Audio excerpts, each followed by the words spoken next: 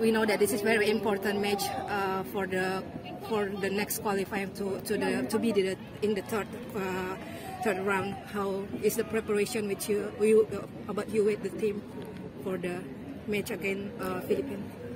Like normal.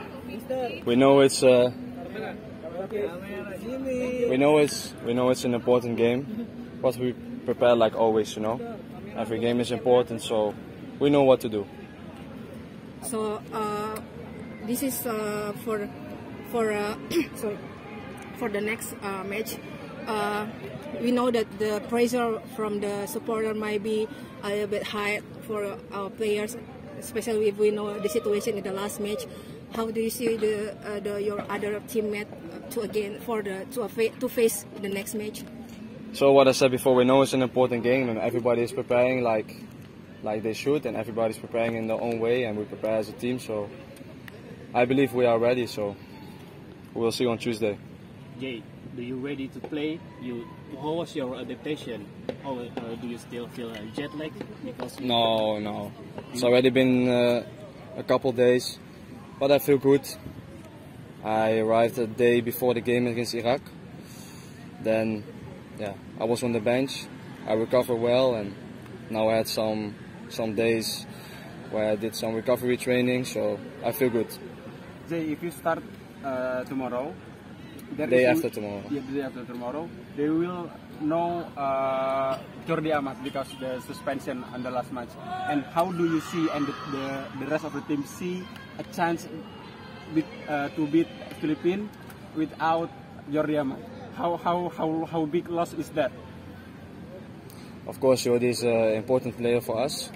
A lot, uh, he has a lot of experience, so he's a good figure in our team.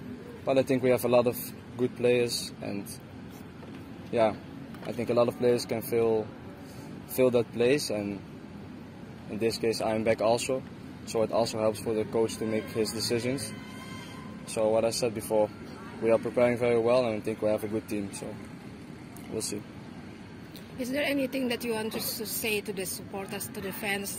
Because we know uh, after the last match, we know there is uh, some players doing doing uh, some mistake, but there is a lot of uh, support. This, support this, that, that yeah, I know. I saw a lot of support, but this is football, you know.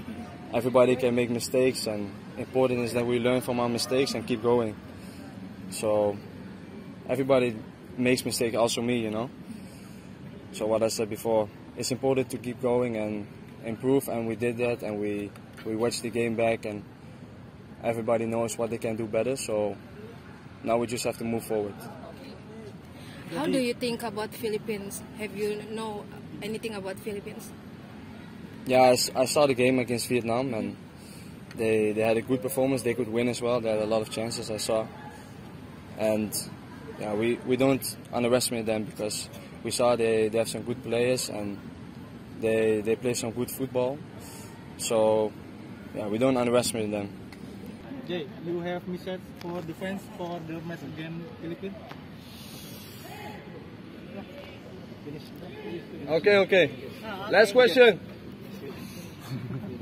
for the fa- for the supporters, no, we uh, we appreciate your support. Everybody appreciates your support. We feel we feel the love, and we want to make Indonesia proud. So that's that's our plan. Okay. Thank you. Terima kasih. Terima kasih sudah menonton. Silakan subscribe, like, dan jangan lupa komen di bawah ya bola spotter.